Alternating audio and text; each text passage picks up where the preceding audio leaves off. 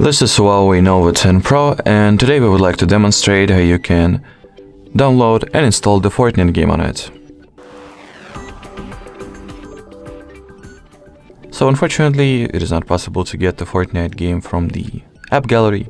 So basically in order to obtain the Fortnite you gotta open any search engine that you'd like. I'll simply go with the default Petal Search.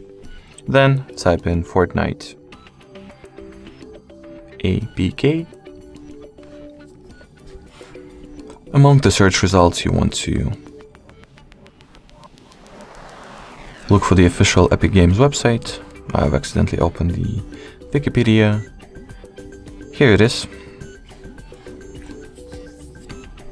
Then scroll the page down, once it gets loaded of course, tap on the download the app from Epic Games hyperlink. Wait until the Epic Games Launcher uh, APK file will get installed confirm the download process, of course. Once it gets installed, uh, allow the search engine that you use to install apps by tapping on this allow option over here. Confirm the installation by clicking on the install button, then launch the Epic Games Launcher. Then uh, tap on the black get button located right in front of a Fortnite. Then at the game page, you'll see this yellow install button. So let's go ahead and tap on it and wait until the Fortnite uh, installation files will get downloaded and installed.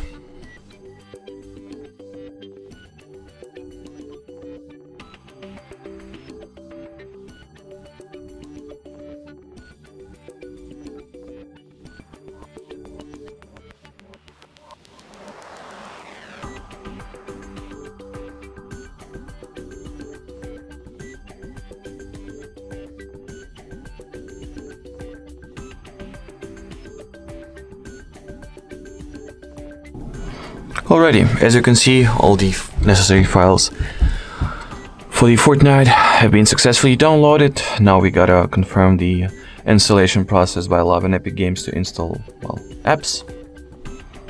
So let's tap on the allow button, then finalize the installation by clicking on the install button. And now we can just go ahead and launch the Fortnite. And all that it's left to wait for is to, well, wait until the Fortnite will download all the necessary resources and updates, all that it needs basically, and then you will be able to start playing the game. Alrighty, so that will be it for this video. Thank you so much for watching and bye bye.